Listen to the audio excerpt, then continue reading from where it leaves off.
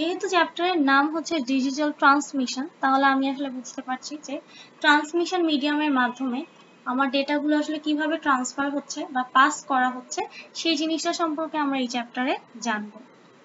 এখন আমরা জানি আমাদের ডেটা দুই ধরনের সিগন্যাল তৈরি করে, একটা অ্যানালগ সিগন্যাল একটা ডিজিটাল সিগন্যাল তো যখন যেই মেথড আমাদের প্রয়োজন হয়, আমরা সেই মেথডে কনভার্ট করে নিই।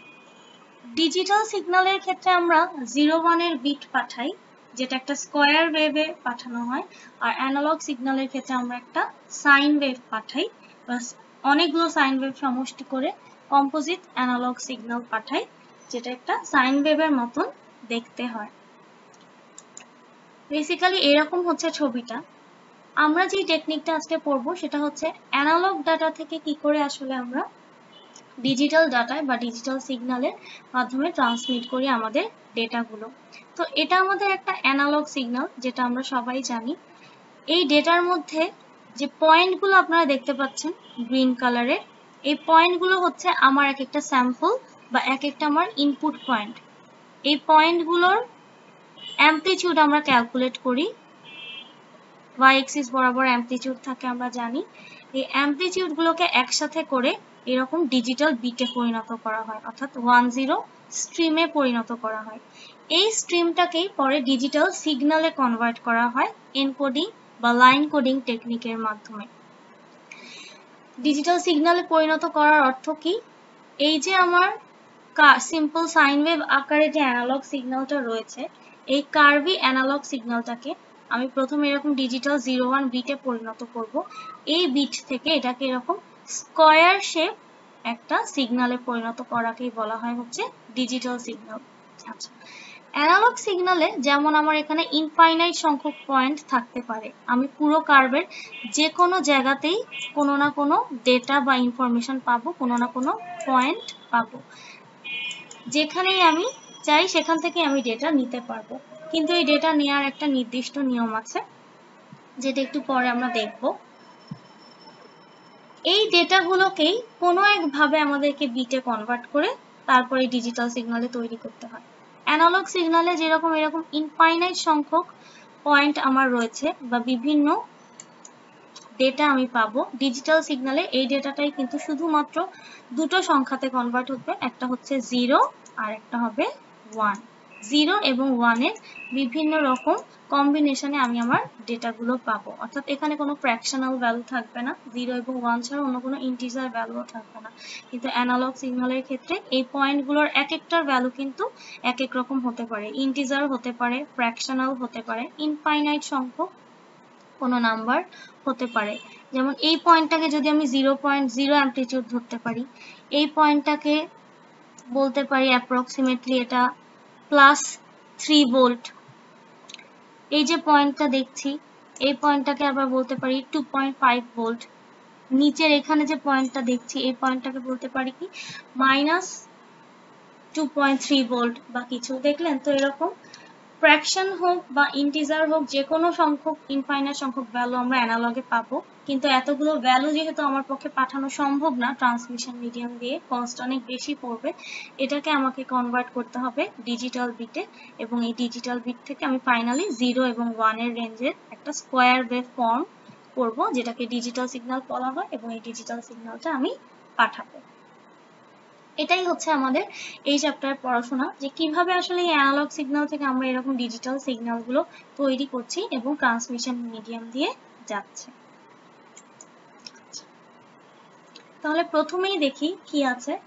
অ্যানালগ টু ডিজিটাল কনভার্সন আচ্ছা যখন আমরা কোনো গান গাইছি বা এই যে আমি এখন কথা বলছি, এই কথাগুলো আমরা সবাই জানি হচ্ছে কম্পোজিট অ্যানালগ সিগন্যাল এটাই যখন আমার ডিজিটাল ডিভাইসের মধ্য দিয়ে চলে যাচ্ছে, তখন ডিজিটাল সিগন্যাল আকারে যাচ্ছে। আমার কথাটা প্রথমে জিরো ওয়ানের বিভিন্ন বিট বা কম্বিনেশনে কনভার্ট হয়ে যাচ্ছে।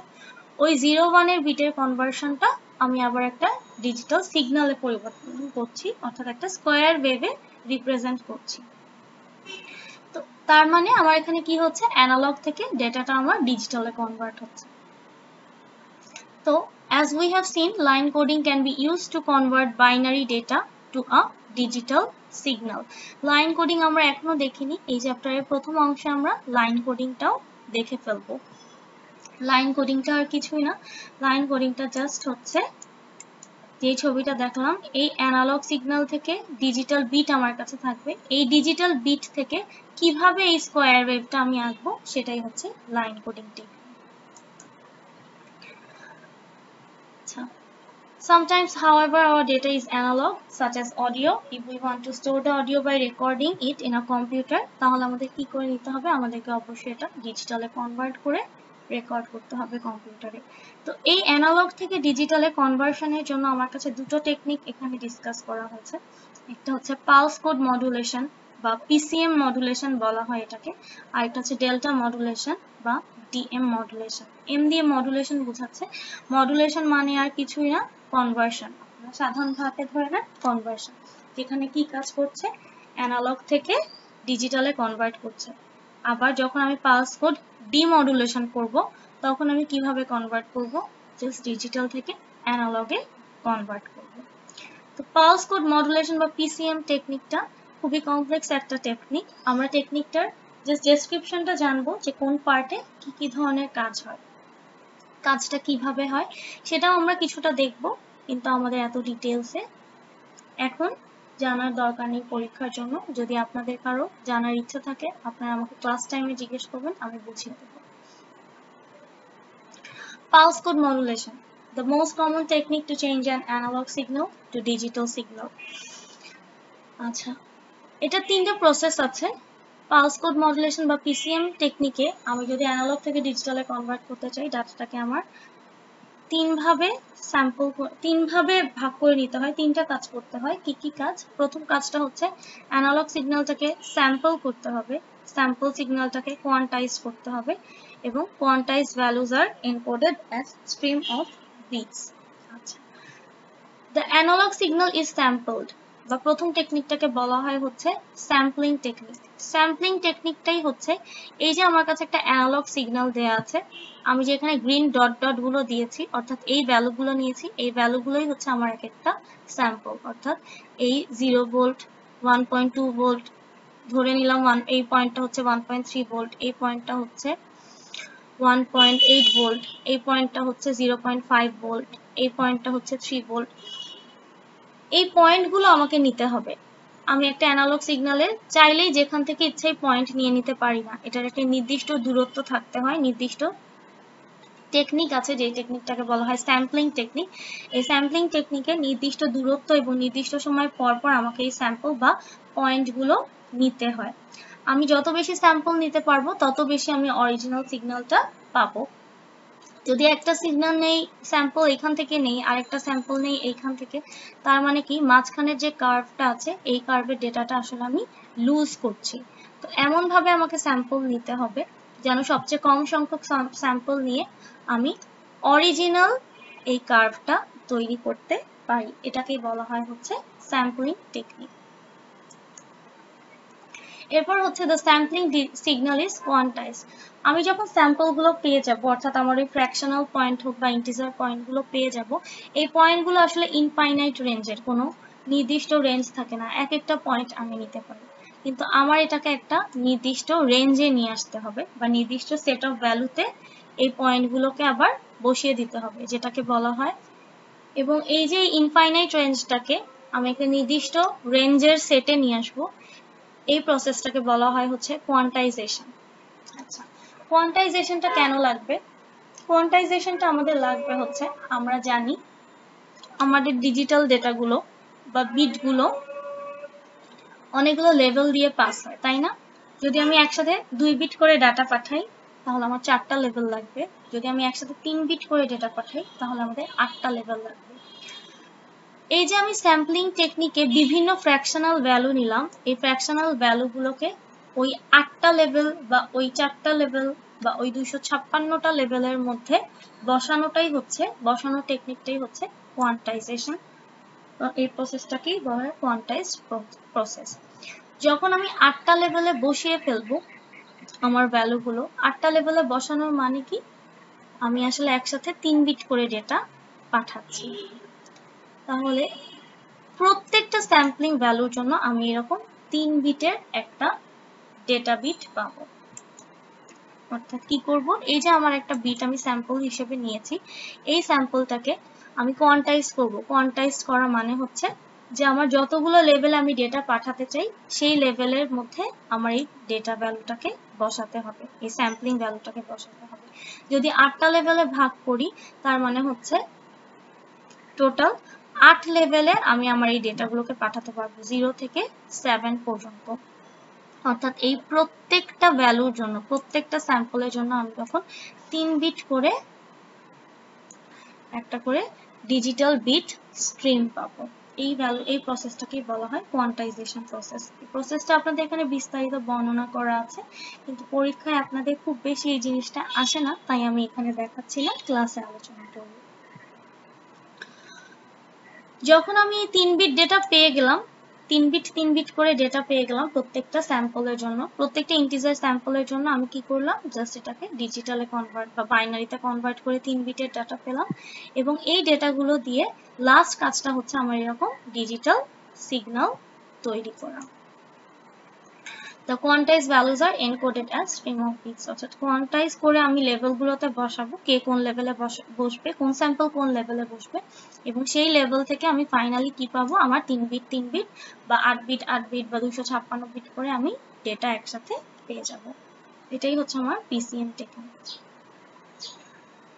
components of PCM encoder আচ্ছা কি কি কম্পোনেন্ট ইউজ করি আমি আমার পিসিএম এনকোডারের ক্ষেত্রে? প্রথমে একটা অ্যানালগ সিগন্যাল থাকে।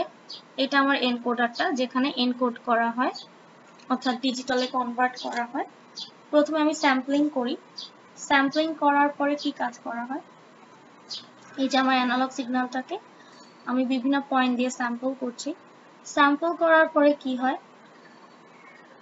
আমি ডাটাটাকে এনকোড এবং কোয়ান্টাইজ করছি একই সাথে। অর্থাৎ স্যাম্পলগুলো নেয়ার পরে আমি যে ডেটাগুলো পাচ্ছি, ওটাকে নির্দিষ্ট লেভেলে বসাচ্ছি। লেভেলে বসানোর পরে ফাইনালি আমি আমার এনকোডেড ডেটা স্ট্রিম পেয়ে যাচ্ছি এবং যেখান থেকে আমি পাচ্ছি কি? আমার ডিজিটাল এই বিটগুলো বা ডিজিটাল ডেটাগুলো তো আপনারা শুধু ছবিটা শিখে রাখবেন যে কি কি কম্পোনেন্ট দিয়ে আমার কাজ হচ্ছে।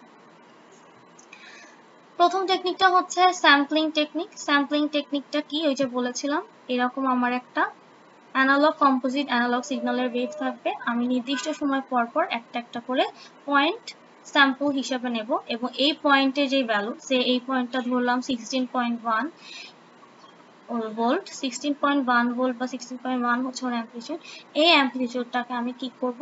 আমি একটা নির্দিষ্ট ডিজিটাল লেভেলে বসাবো।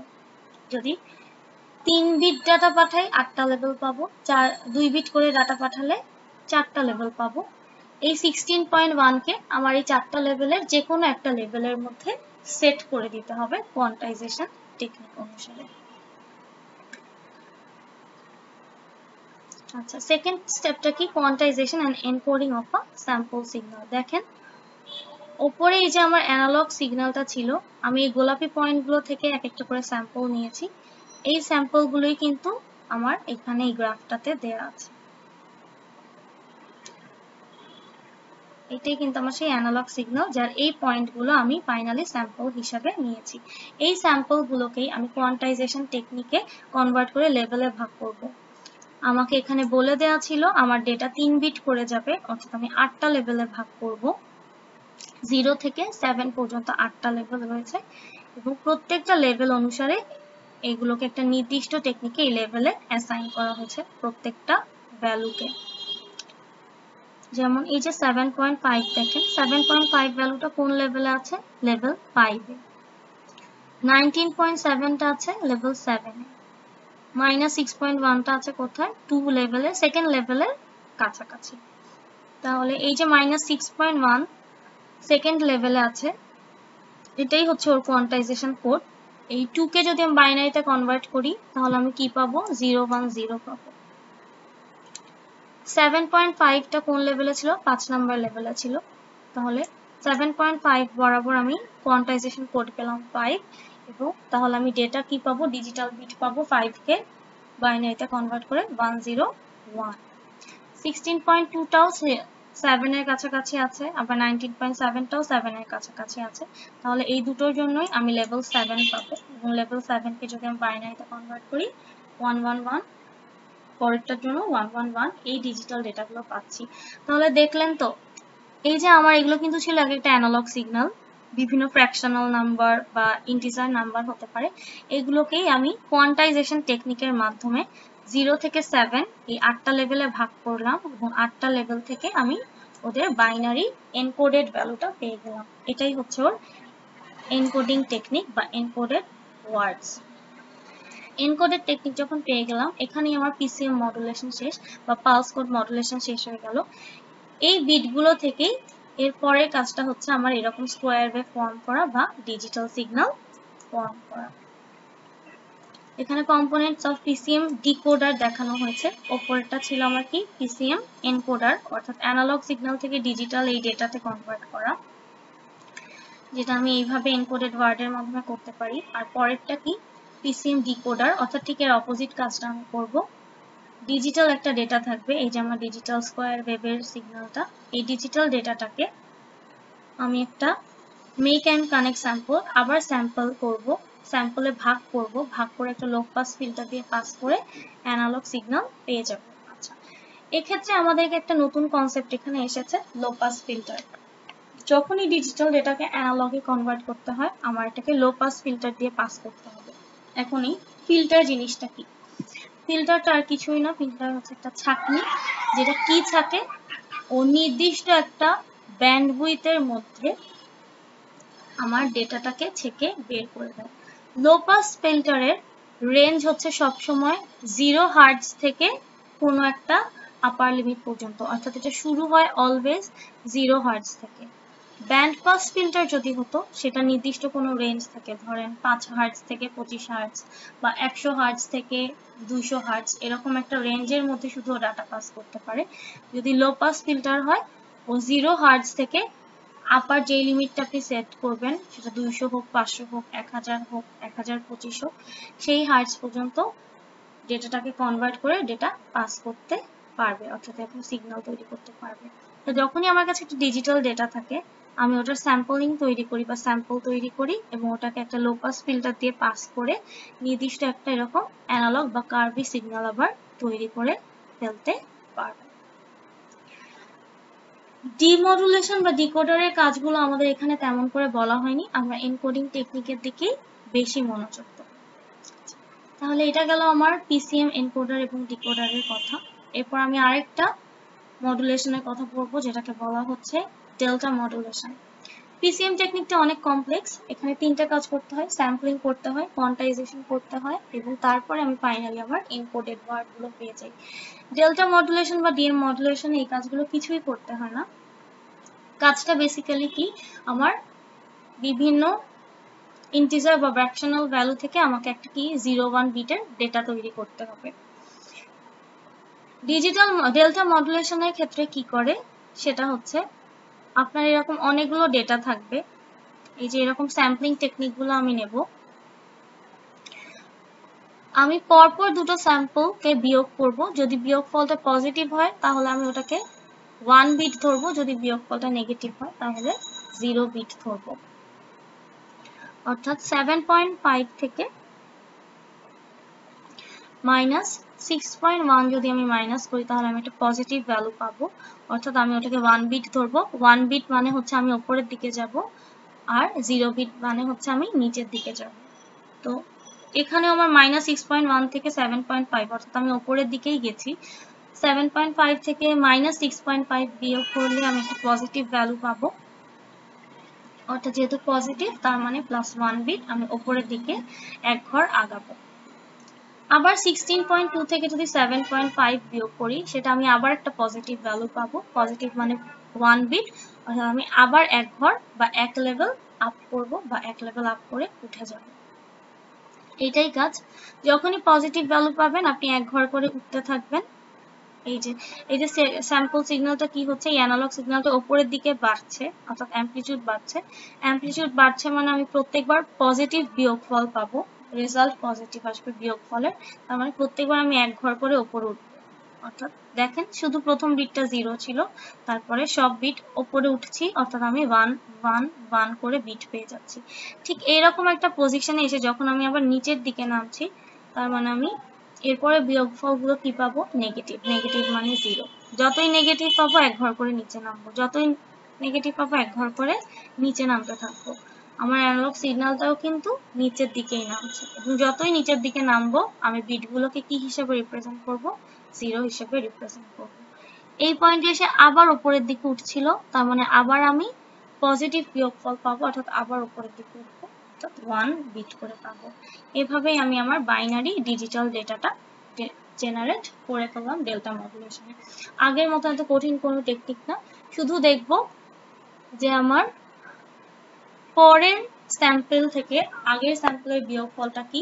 যদি বিয়োগফল পজিটিভ হয় তাহলে ওয়ান বিট যদি বিয়োগফল নেগেটিভ হয় তাহলে জিরো বিট দেখেন ডেল্টা মডুলেশনের এই যে আমার কার্ভ বা ডিজিটাল সিগন্যালটা রয়েছে, এটা কি হিসাবে রয়েছে? একটা সিঁড়ির মতন রয়েছে বা স্টেয়ার কেসের মতন রয়েছে। এই স্টেয়ার কেসটাই আমাকে বারবার বানাতে হবে এবং আমি এই স্টেয়ার কেসের সাথে কম্পেয়ার করব যে আগের ভ্যালুটা কি পজিটিভ না আগের ভ্যালুটা নেগেটিভ